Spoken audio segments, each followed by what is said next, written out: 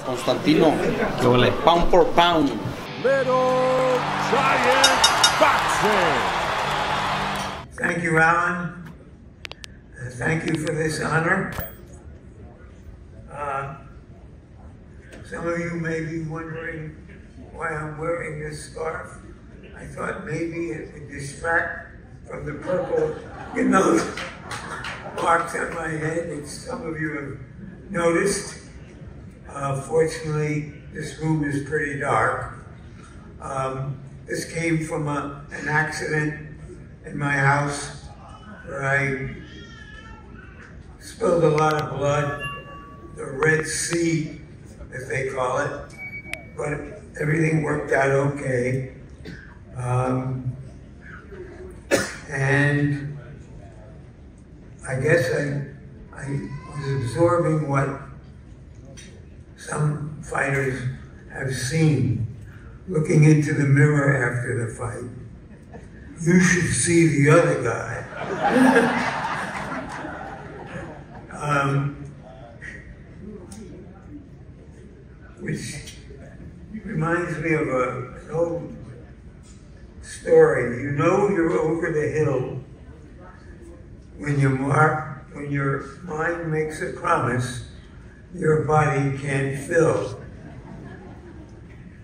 My version of that is when you hit your 90s, the 90s hit back. um,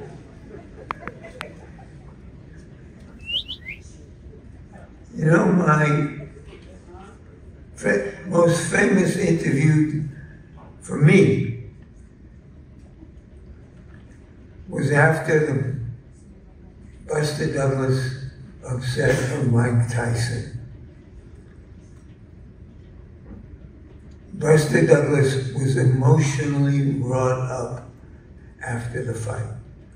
His mother had died a few weeks before.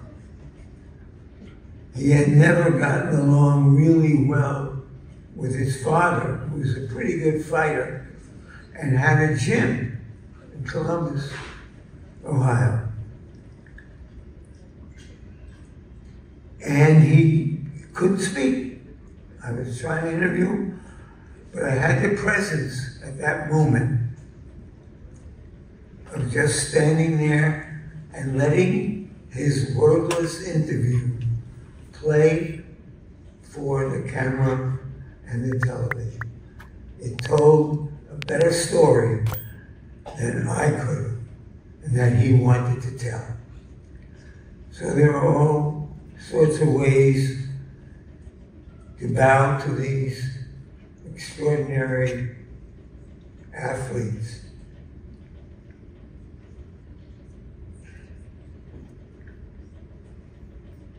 Some people might imagine that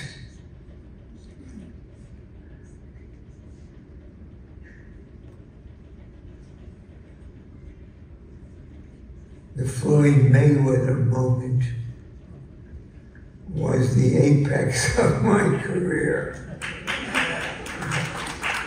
Um, I'll happily accept those two men who clapped their hands.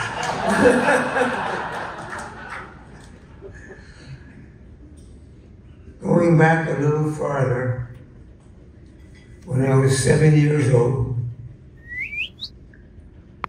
my father asked me at dinner if I wanted to stay up late for the fight.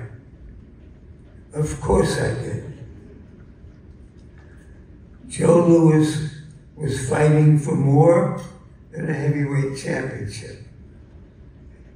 He was fighting for the dignity and greatness of America, which had been slowly but persistently threatened by Adolf Hitler. Now, we brought our radio into the living room, and in the first round, Joe Louis destroyed Max Schmeling. In hindsight,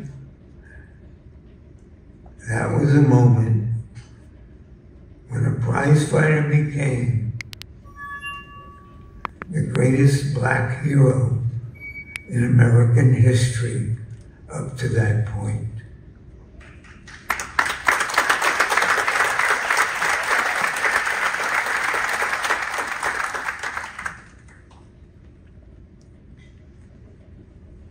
So we've come a long way, to answer your questions, no, this was not Floyd Mayweather.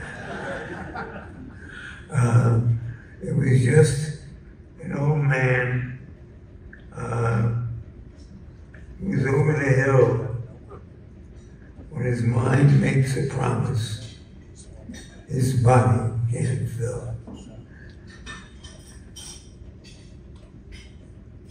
you for your applause and your silence.